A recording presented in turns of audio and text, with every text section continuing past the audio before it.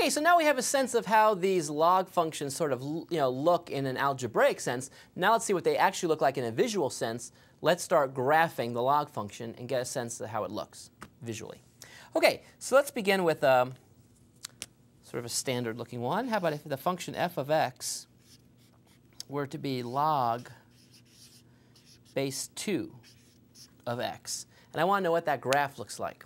Okay, well, what can we do? Well, one thing we could do is just plot some points and get a sense of what this thing looks like. Now, you, it may be good for you or may be easier for you to sort of write the converted statement just to sort of help you. Um, so a log is an exponent. So that's the exponent that I have to raise 2 to in order to get x. So basically, this would be x equals 2 to the f of x. This may help or may not help. It certainly helps me. Let's make a table now and see uh, what this would look like for different values of x. It also will help you pick some, e pick some easy values to plug in for x. For example, what if I put in a 1 for x? Then what power of 2 will give me 1? Well, the answer is 0. Okay. Uh, what if I put in a 2 for x? What will this have to be to make this thing equal to 2? 2 to what power is 2? Well, that's 1. Uh, 3 would be uh, an unfortunate choice for x because it would be hard for me to figure out what this equals. But 4 is good. If I put in 4, that value must be 2. Because 2 squared is 4. Uh, what about some negative values? Could I put in negative, a 3 here?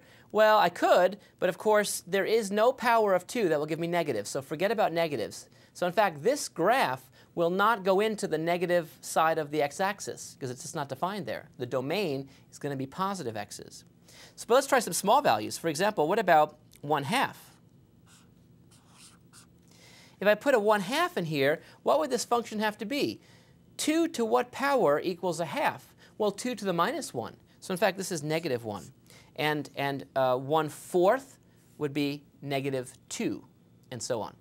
So let's start to put this together and see if we can get an accurate picture for this. Let me just move this over for one moment. Let me create a little axis action.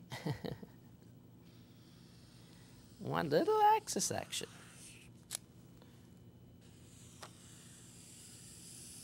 Okay, there's an axis. Now I'm going to start plugging these points in.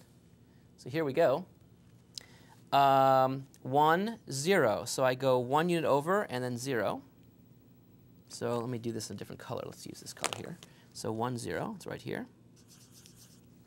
Then 2, 1. So I go 2 and go 1 unit up. Go here. 4, 2. So 1, 2, 1, 2, 3, 4. And I go up 1, 2. Okay. And then at a half, I go negative 1. So at a half, I go down to negative 1. And think about it, a fourth, which would be right over uh, here, would be negative 2. So it's way down here. So you can see what's happening. I get a curve that looks like this. It grows very slowly. It's increasing. And it comes down like that. And that's the log function base 2 of x. Notice, by the way, that if you turn your head this way and look at the picture and flip it, it sort of looks like an exponential. Well, that's because this is going to be the inverse of the exponential we'll see later. But for now, notice that it has that same shape. It, it's increasing, but now very slowly here. It's going up. But here it's actually asymptotic to the y-axis because, in fact, there's no value for x which will make that 0. And so we have a vertical asymptote here for the log function that looks like this.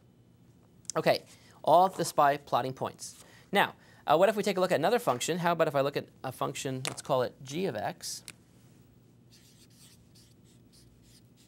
Suppose that's log base 3 of x. Okay? Well, uh, let's see. Uh, it's going to have this basic general shape, but the question is, what happens when I put a bigger number there? Is it going to sort of go up or down, or how is that going to interact? Well, let's just make a table of a couple of values and see. That's the easiest way to do that.